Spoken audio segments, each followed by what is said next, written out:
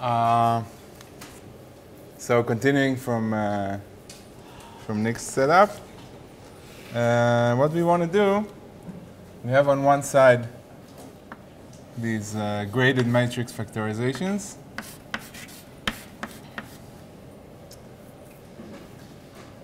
And of uh, some ring, what was it, S, S and W. And on the other side, we have uh,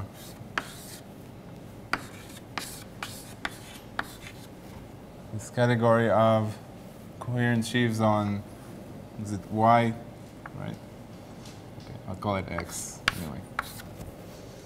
Some projective, projective hypersurface.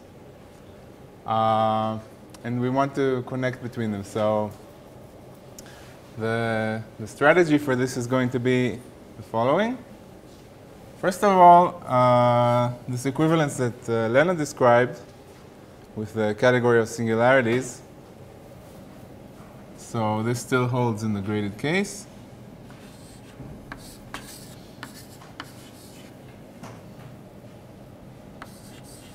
So some uh, graded category of singularities of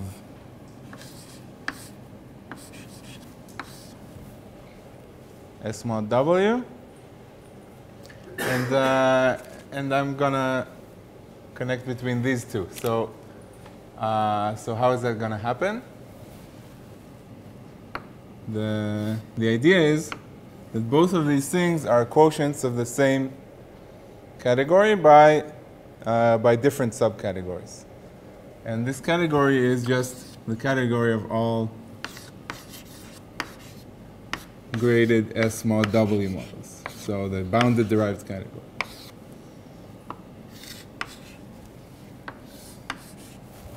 So it has projections to these two. And then uh, the map from here to here will be by taking uh, the adjoint to this map and composing. And then also there's an adjoint here. So you get, you get these two maps. um, so to be more uh, more precise, so suppose we have this uh, What Yeah. is X? x. Okay, so x. What's x? Let's call this ring A. So x is x is the projective variety corresponding to A. So just for the benefit of uh, those who haven't seen this. Hmm? So it is a smooth variety. What? It is a smooth variety. Yeah, X is smooth. Smooth projective variety.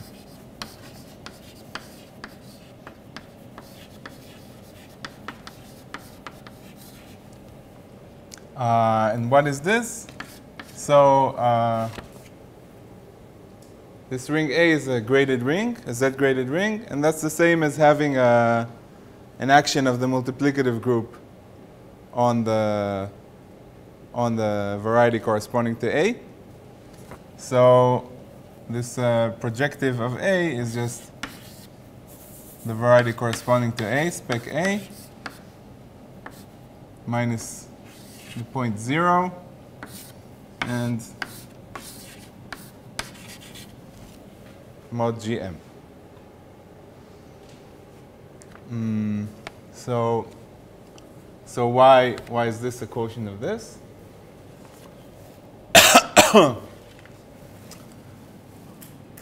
so, yeah. Ah, GM, this is, uh, well, uh, the multiplicative group of the field, like as an algebraic group. Okay, let's say C star. Okay. Maybe better. Sorry. Uh, so what? Let's let's think. What are varieties on X? What are sheaves on X? Sorry. Uh, so.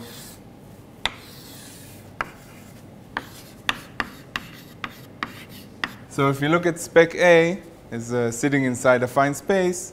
It's this kind of cone, right? It has an action of C star. It's stable under this action. And what we want to do is we want to remove 0 and then mod out the C star action so we can think of X as kind of sitting here. Ideologically, just pictorially, not, not really. Uh, and then what is the sheaf on X? So it should be sheaf, sheaves on X correspond to uh, C star equivariant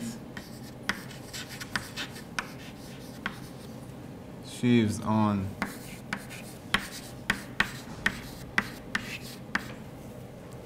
On spec A, right? But uh, if you think about it, if something is concentrated at zero, then it has no no effect on what we get on X, right? So we should mod out mod out by sheaves supported at zero.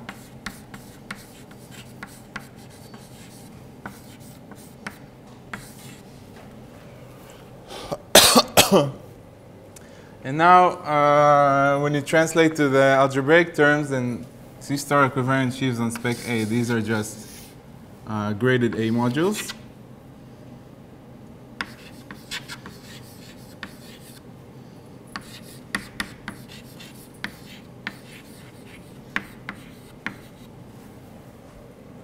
And these are torsion modules.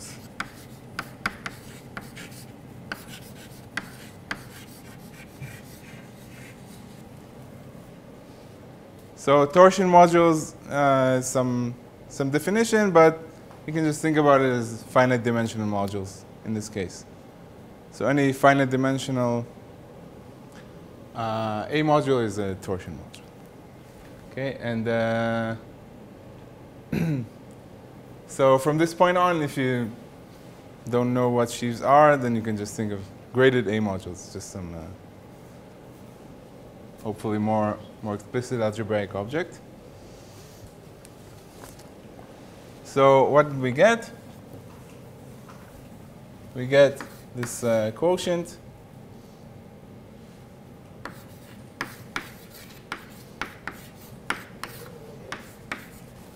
from graded A modules to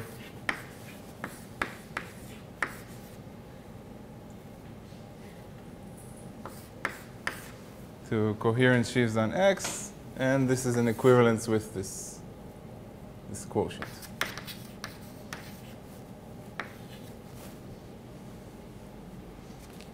Okay? Uh, and let's just uh, remind so we have, let's put it here. So we have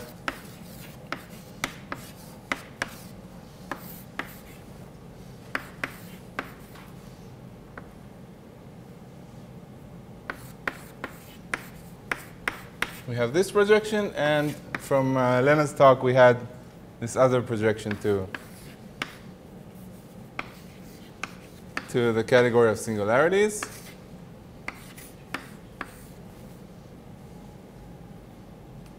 Okay, so we have these two projections. And, uh, and now uh, I was lying a bit. So in order to get the adjoints, what I have to do is restrict myself to looking here at only, only graded A modules that are supported in degree. Well, I write here more than zero, but you can choose instead of zero any number. It's not very important.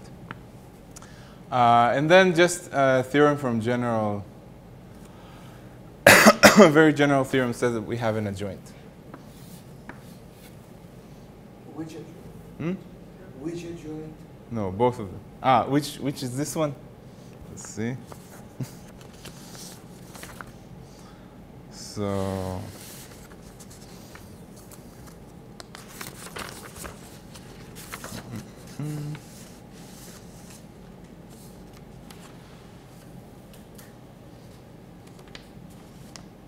so this one has a right adjoint, I believe.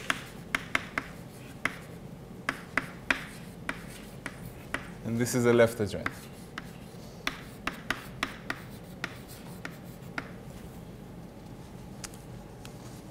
Hopefully true. Uh, so what I'm going to, to explain is how, how, to, how to compute the, the composition okay, for a specific case. Mm, and for this, we need we need the following uh, notion of a semi-orthogonal decomposition.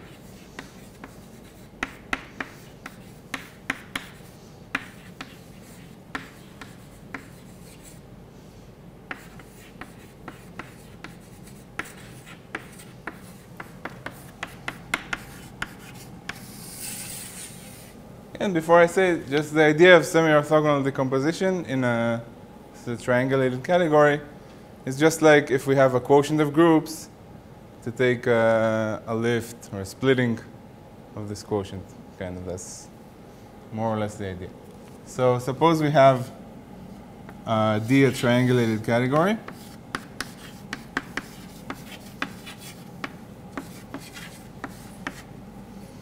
And then A and D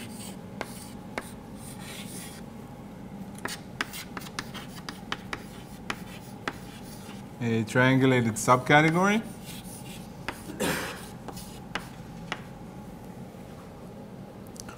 then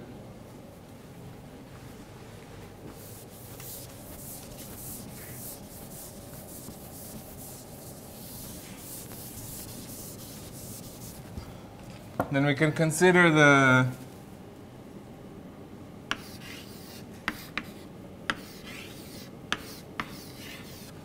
we can consider this uh, projection map and ask, say, when it has a right adjoint. So let's define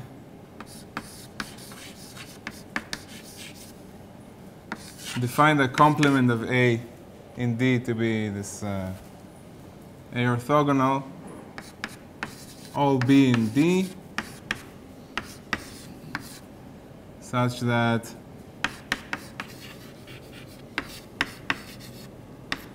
Hom B A is 0 for all A and A.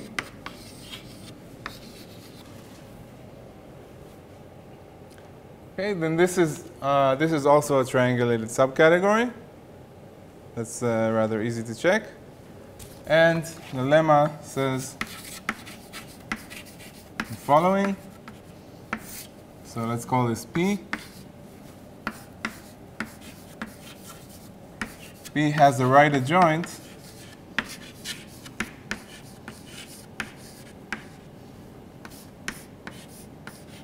if and only if uh, we have the following conditions. So for every x, there exists an exact triangle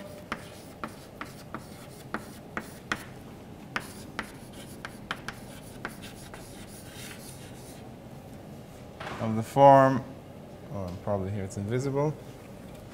So, of the form x with B and A, and this is in the complement, and this is in A. Okay, so basically it asks that the that the complement in A generate the whole category in some sense. Okay? And uh, so why is this useful? Uh, so now to compute the right adjoint, what do we have to do? If we have some, some category A, we have to take uh, an x which represents, represents an object here, just some representative, decompose it in this way, and then take the A part. Um, sorry, the B part, obviously. take the B part right? And this gives us, and just a remark,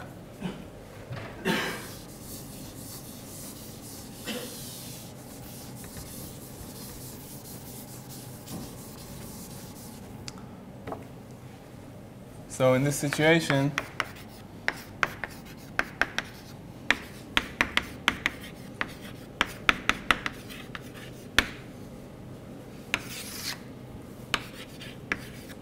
we say that uh,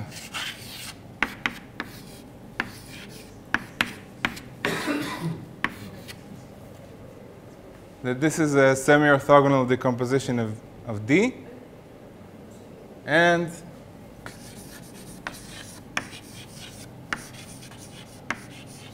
and we have that A orthogonal is is equivalent to D mod A. Okay, just via the projection. Okay, so let's uh, let's see how it works in our case. Hmm? What, left adjoint? Because it's mapped from B to X. From B. Okay, I won't argue. I think I checked it, but uh, it's, uh, it's easy to check anyway. It's one of them.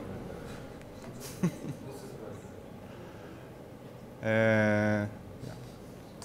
In any case, so in our case,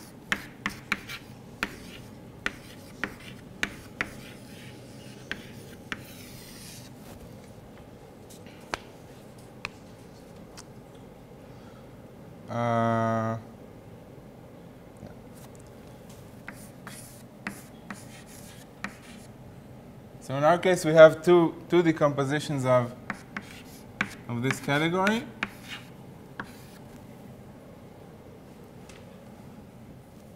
So first, corresponding to, to the coherent sheaves.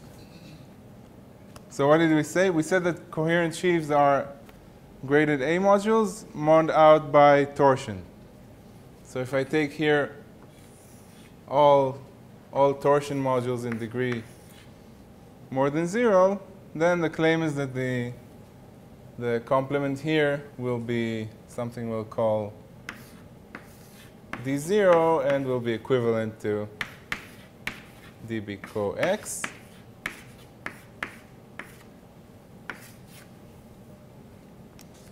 Okay? And the other decomposition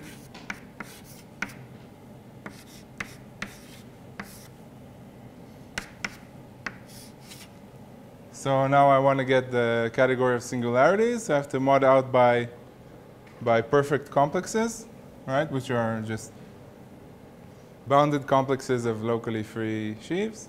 Let's call this P. And here I get some category T0, which is equivalent to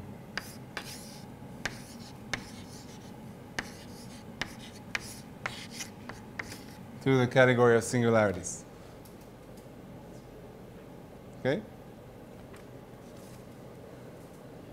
Questions? Do you have to check? Yeah, of course. You have a joint? Yeah, but this is some uh, general thing. It's just uh, algebra, old results of algebra, which apply in more general setting than this, like Gorenstein algebra, something like this.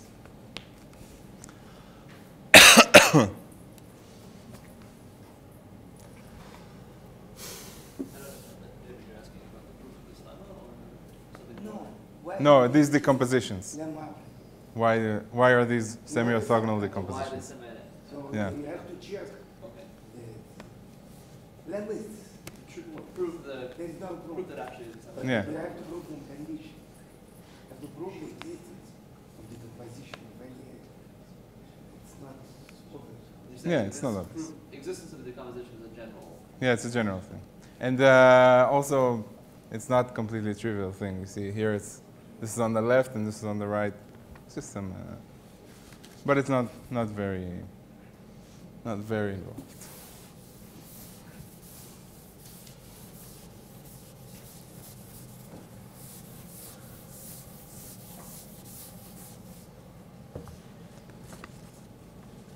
Okay. So. Uh, So now we want to make some Let computations. me just Yeah. what kind of you, you define T zero in this sense, and you're talking of the buffer. Now we have to prove it's not empty. To have the decomposition, first of all, you have to prove that it's not empty. It's not, I don't see any. Yeah, it's not obvious. It's just it's a theorem from algebra. I'm not saying it's easy theorem. I, I didn't read the proof. I have to admit. is theorem from So we just ignore all theorems. Then we don't have to discuss. No, it uses like. Uh, you say there is a theorem, go home. okay. So maybe I'll say about this. This is just really general algebra. Why is the decomposition? I don't want to go into, but uh, why is it? Uh, why does this induce an equivalence from here to here? Uh, this is connected to to the fact that we chose uh, this uh, this A representing a Calabi-Yau manifold.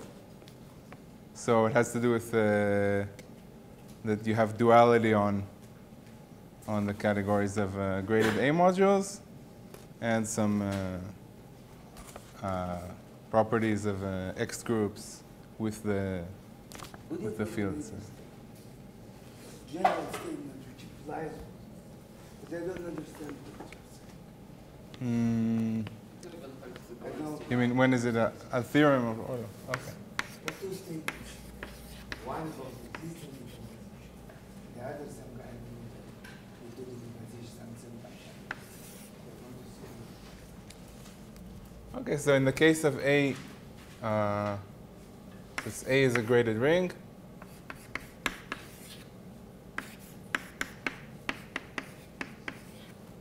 uh, connected.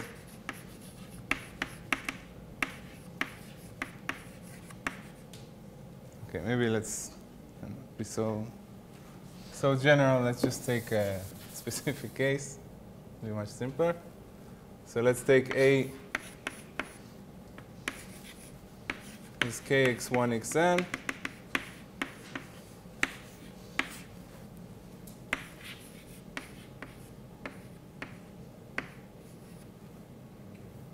This thing. Of course, true in more generality, but anyway. Uh, so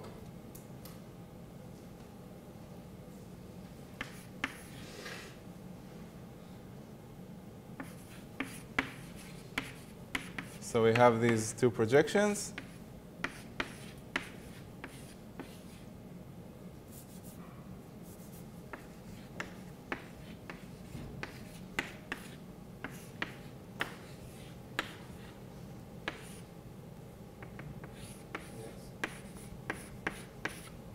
So I believe this one now, and right and left. It's mm, I think this has a right adjoint.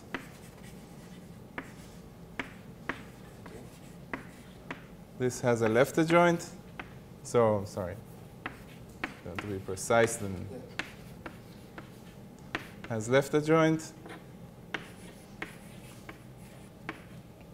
Uh, and this induces an equivalence.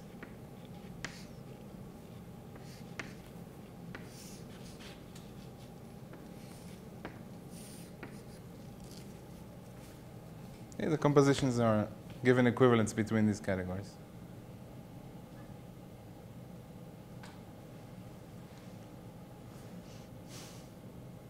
So the proof more or less uses some kind of duality to go from this decomposition to this decomposition, and to switch between them.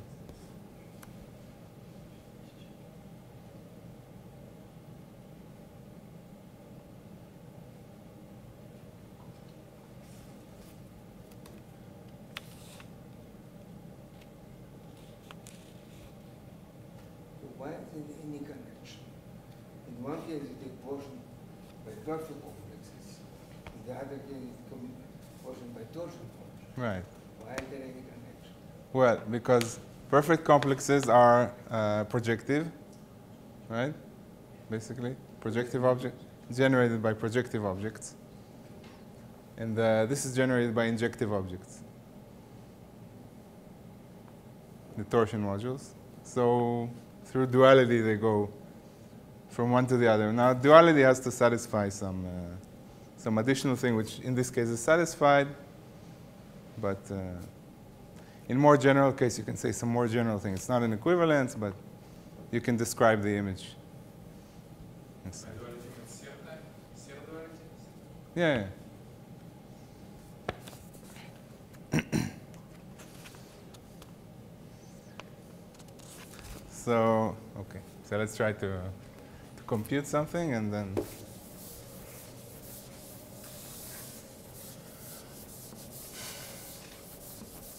See what we have to use.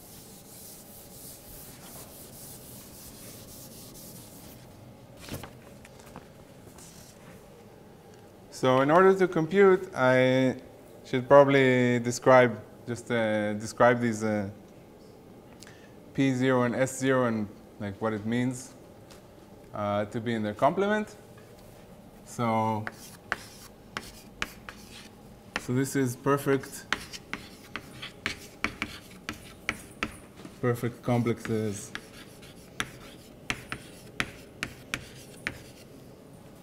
uh,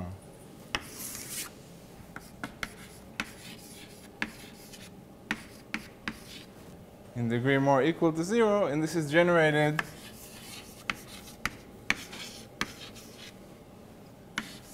by all the shifts of A. Okay? So what I denote here by R, AR, so if, in general, if I have an A module, I can shift the grading by R. So this is what this R is uh, referring to. Is clear what's meant? Just moving the grading. so this, because of how the notation works, it should be for r less equal to 0. Because we're shifting, it's like with a cohomological shift. Uh, so what's what's Hom from uh, from AR to some module? This is just uh, m m minus r. Okay? So you see that it's immediately obvious that it's a projective module, for instance. and then for computations, this will help. Uh, what's this? S. These are torsion complexes.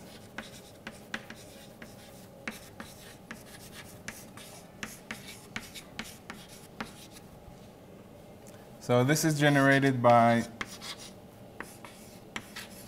so these we said are just complexes of finite dimensional things. Okay, so it's just generated by the field, okay, shifted to, to different degrees.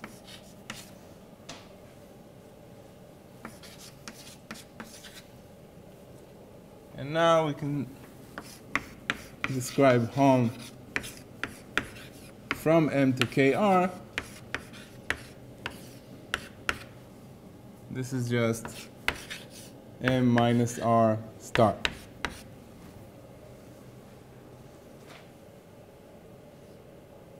Okay, this may be, if you want, two good exercises to familiarize yourself with this kind of thing, to, just to, to see that this is true. It's very simple. It's not uh, nothing involved here. uh, okay, so let's.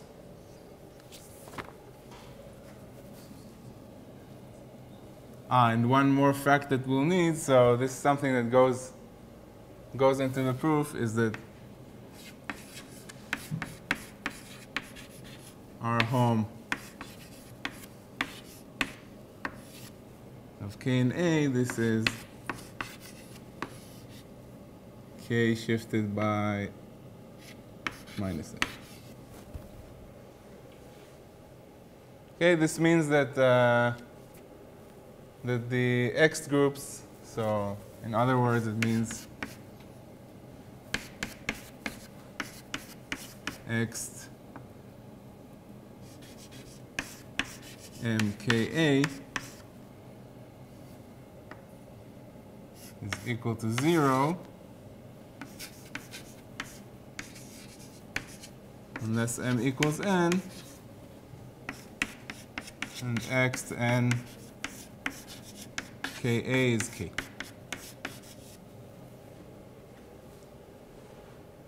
So this you can pretty much uh, no. Anyway, it's a specific. Uh, so this is a specific property of this this algebra or this type of algebra uh, that's used in the proof. Okay, and uh, you can see it gives kind of a connection between the the torsion projective module, so you can pass from one to the other.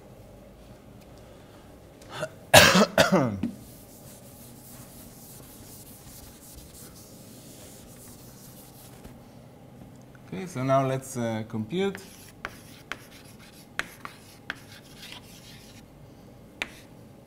Compute image of K from the category of singularities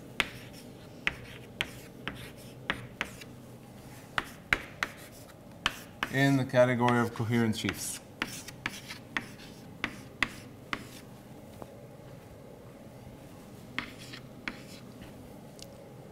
Okay, so luckily I still have this uh, on the board. Uh, so, so we're here, right? We have k here. So now uh, we want to get something inside T0. Right? So what do we need to do? We need, so we need to write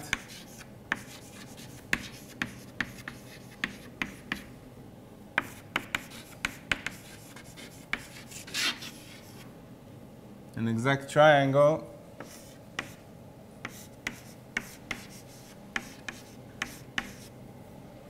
t to k to p, where this is this is in t0, and this is in p p more than 0. okay, and then we need to take this t part and project it to uh, to here. Okay, which means to mod out the, the torsion sheaves. Uh, so just before we, we say anything, note that if I have this, and now I want to project T to, to the coherent sheaves, then I'm going to mod out K, right? This is going to go to an exact triangle in coherent sheaves, uh, which is going to be T0P. So this means that T is going to be the image of T or the image of k, and then it's going to be just isomorphic to a shift of, of the image of p. So all we have to really find here is p. So just leave this here.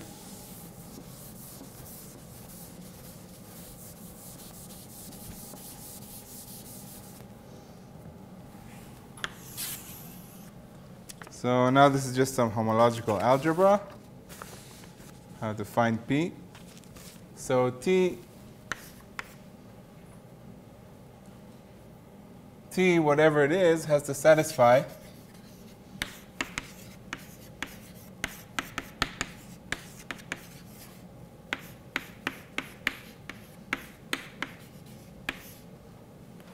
Next, M mm, T.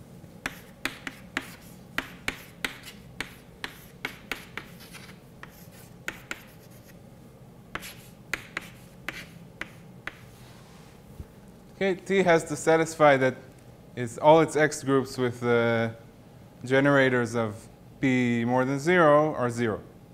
Right? It has to be in the orthogonal complement. Okay, so this has to be true. And then, uh, so we can look at the long exact sequence here. So it has a lot of zeros in it when we, when we take Hom with AR. Right? So this implies that xm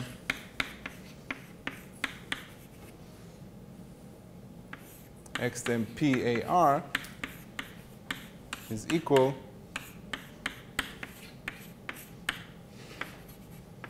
to x to m of kar for all m and for all r less or equal to 0.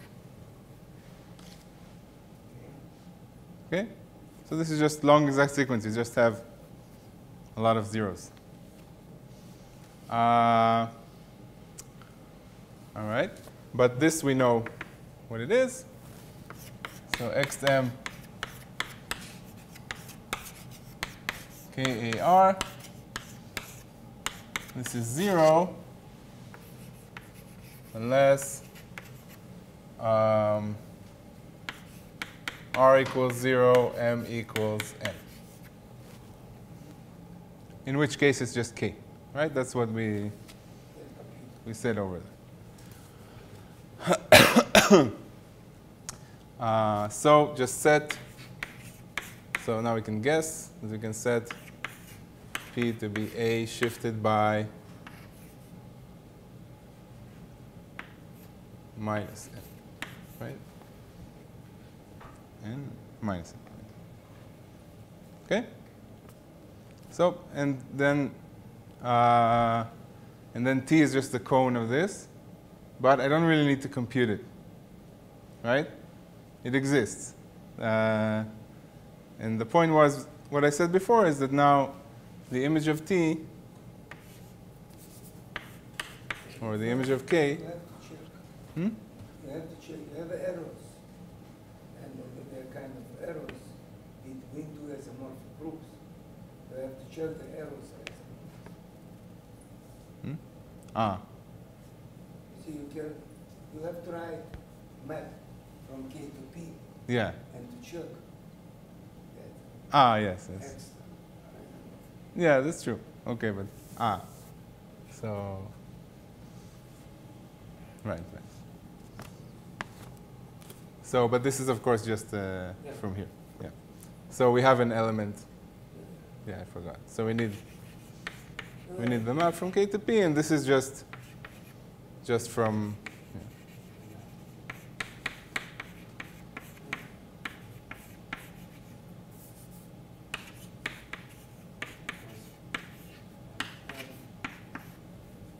yeah. So yeah, it's not a very trivial thing, but exists. Uh, and then so the image.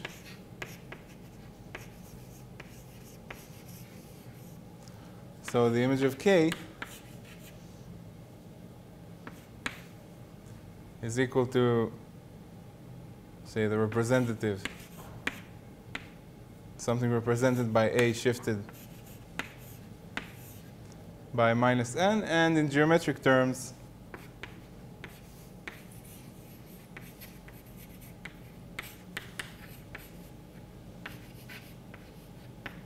this is just O, Ox shifted by minus n. Okay? So if you think about it, something, uh, I don't know, if strange, but uh, interesting in any case. We had- I Don't understand. Uh, X Hom from K to A minus N Yeah, is it just one dimension. it's k, yeah. Hom from A minus N to itself is A. No, not the graded Hom. Graded Hom is Okay. k. Yeah. I think it's even still there. Okay.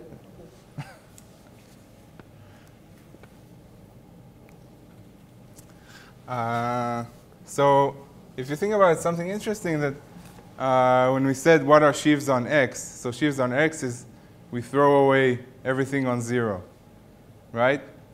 But now if you look here, what happened, uh, we only get interesting things from things on zero.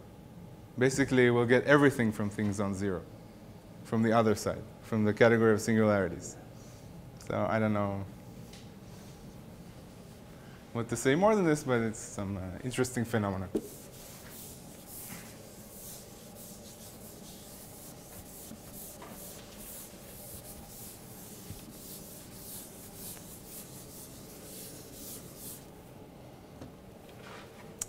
Uh, okay.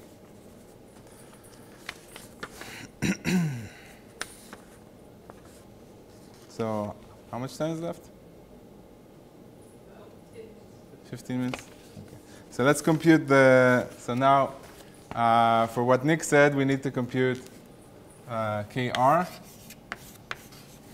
for R. So we already did zero, so we need to go up to up to n, right? Um, so this is a bit more involved computation, but not too much. So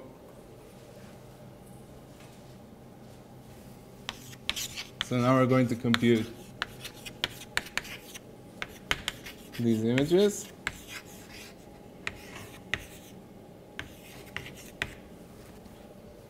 Okay, and then uh, the goal is to show that we get the we get the generating set in the DB code, right? So so consider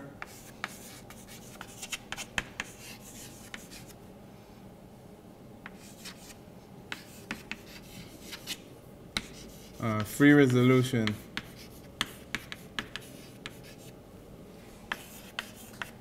free resolution of k as uh, a modules as an a module.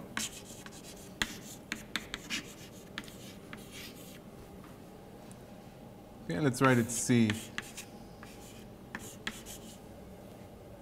C to k. Um, and now what we can do so uh, so we can look at it's C shifted by R. So is this what I wanted or. C shifted by R to K shifted by R. Of course it's still a resolution. Didn't really change anything. Um, but the problem is that uh, now this is an infinite resolution and the, the degrees here they're constantly reducing by one. So this is constantly going more and more into the negative part and has an infinite part which is uh, which is all negative. So it's not in it's not in graded modules which are greater or equal to zero. So we have to kind of separate that out. and for that we have the claim the claim which is also not not very hard that uh, or more or less immediate that uh, the category of all graded modules decomposes, or maybe I'll write it here.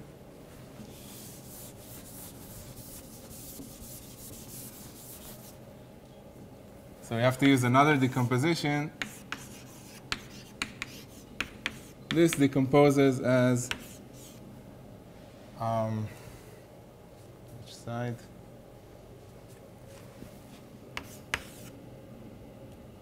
Mm, let's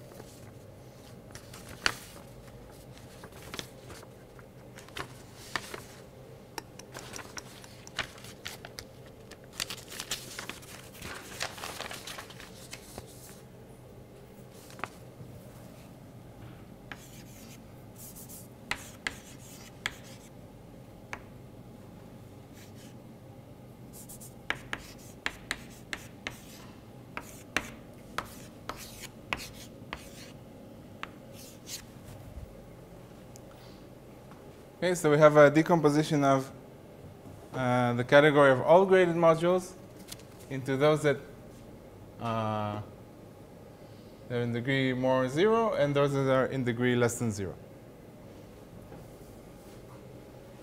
Okay, so the perfect complexes.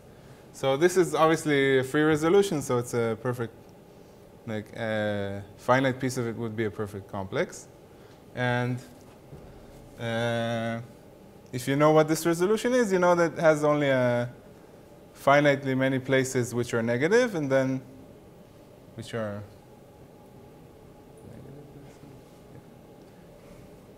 And then infinitely many positive. Yeah.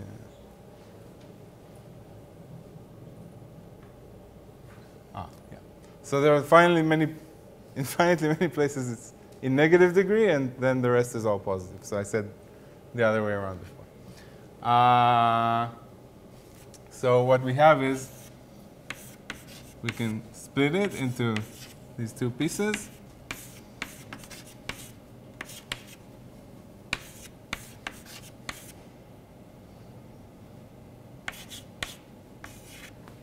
So this is just saying I cut this this complex in, into two parts. Just uh, just uh, separate it into the part where it's a negative degree and then positive degree. Uh, this is isomorphic to KR. Okay, and now uh, and now if we look, uh, because R is less than N,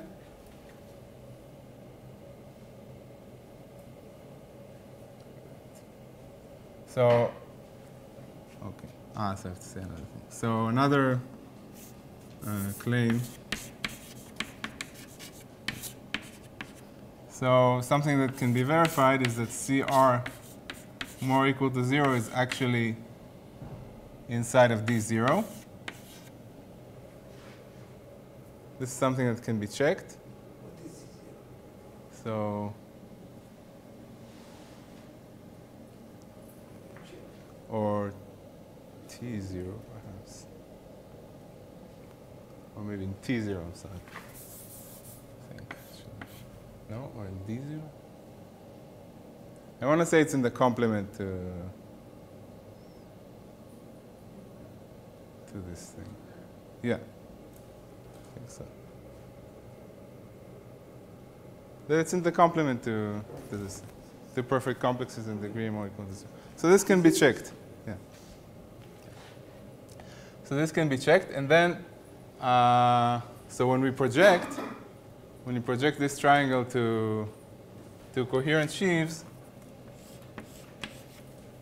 so we can we can project it, and we get that uh, the image of k. Wait, wait. That's what I wanted to say.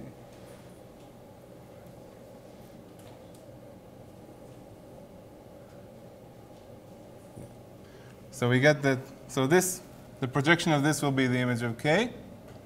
This will go to zero, right, because it's isomorphic to k, which is a torsion sheaf. And then this will be, again, uh,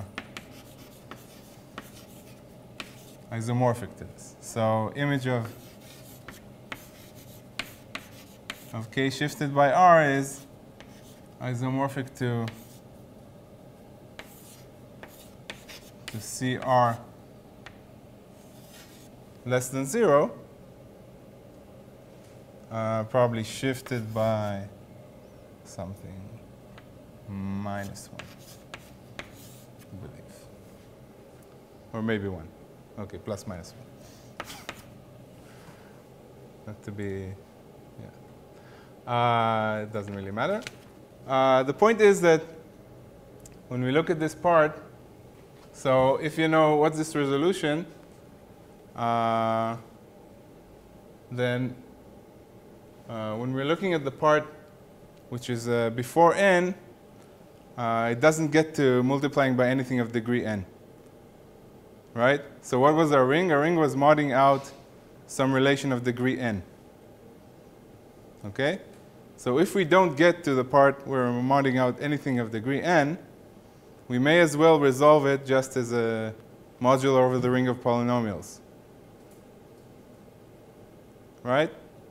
So what's this resolution? It's just a Koszul, Koszul resolution, the regular Koszul resolu- resolution. So, So- can you just repeat why it's a- enough to. So if you know what this uh, what this thing looks like, this resolution, then it's every time you multiply by something of degree one, basically. So if you're going only r places, you don't get to multiplying by anything of degree n. So it's just the same as resolving over over the polynomials and cutting it off at degree r.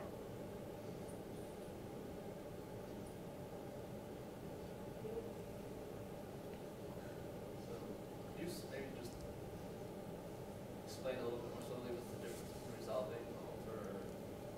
Uh, no, they're both graded, but uh, but one one is uh, singular and one is not. So, I mean, A is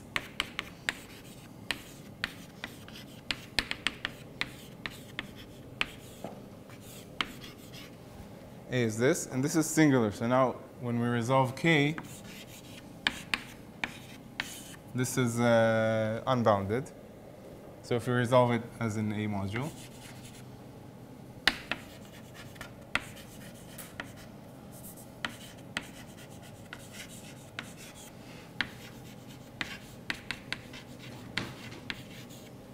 But when we resolve it as a, let's call this just k. So this is just the Koszul resolution.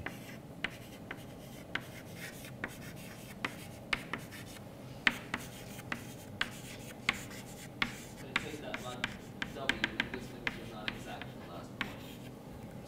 Right. So, uh, yeah, it's not. I mean, uh, yeah, right. The modding out by W will give you some more relations, and then you have to continue because there's a kernel. And you know that that thing is of degree, once you've gone n steps in, in the Yeah, Koszul complex, you know it's already of degree um, greater than zero, or less than zero. No, here the, the degree starts at, uh, at uh, minus r and then increases all the time. So this piece uh, that we're left with just has like r. Okay, so Or maybe r plus one. steps, Yeah. you're already above zero and you can throw that out. Yeah, so you can just cut off at r. I mean, well, what we want to do here is cut off at r. That's, that's, we want the image of this. So we just want to know what this is. So claim is, is just the same as Koszul resolution, cut off at r and then mod out by w, tensor with, uh, with a. Okay? So C, CR less than 0 is isomorphic to k shifted by r. I don't know how to write this. Cut at r. Okay, and uh, now just uh, you just look what this is. This is just a general claim is that kr shift whatever cut off at r this is isomorphic to